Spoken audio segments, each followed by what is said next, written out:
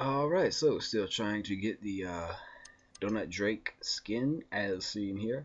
Once again, I'm going to tell you which treasures are dropped by which bosses, and then I'm going to get right into showing you an extremely quick and effective way to farm for uh, the one that we're going for today. Uh, once again, the Skull Bead is dropped by the Hammer Boss at the very end of the map, and uh, showed that in the last video. And the Yama-on Buffalo is dropped by one of the bosses at the beginning of the map. I'll explain that because that's what we're doing here. Once again, I want to point out if you don't have both treasures, you want to farm for the skull bead first because you will be going through this boss to get to the other one. It doesn't make any sense to farm this boss 30 times if that's what it takes and then, you know, have to go through them again each time to get to the next boss. So anyway, we're going to run right over here to the left. Drunk's helping me out with this video today and uh, you see the carpet bomb, uh, cluster bomber, carpet bomber. Yeah, that's what I was trying to say earlier. When you uh, play this on crushing, he's a cluster bomber.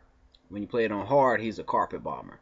But uh, either way, he's the one that drops the treasure. You see, that's the normal treasure. You see, it says Spanish goblets. We wanted to say smiling end. And uh, so we know that's not the treasure we want. So we're going to let ourselves die. And respawn and do it again. Notice uh, we're just going to run right to this left corner right up here and uh, just unload on them and watch how quick and easy it is.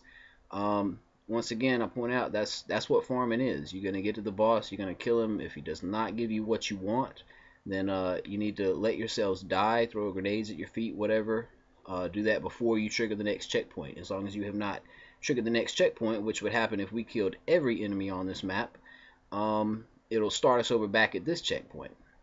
So we get to shoot the boss again and uh, and again and again until we get the treasure that we want.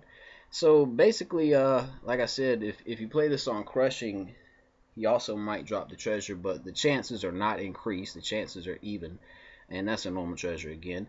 So uh, basically, there's no reason to do this on crushing. Uh, once again, you only get 10 team lives on crushing, but you get 15 on hard. So even though the boss is you know very close to the beginning of the map um, it'll save you having to play through that very beginning part too many times and uh, once again I need to point out that once you do get the treasure you need to get a game over screen either by completing the map or by uh, dying enough times that you run out of lives as opposed to that if you were to hit start and leave the game it would not save the fact that you had collected the treasure so that's important to note in case you did not know.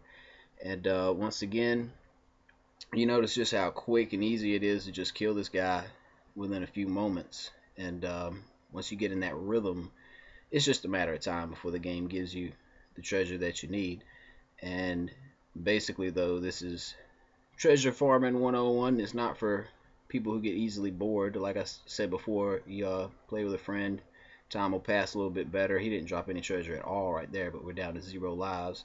And uh, so anyway, I hope this video has been helpful, showing you a quickest way to just walk through him and which boss drops which. And hope you get that Doughnut Drake skin pretty soon. Uh, thanks for watching.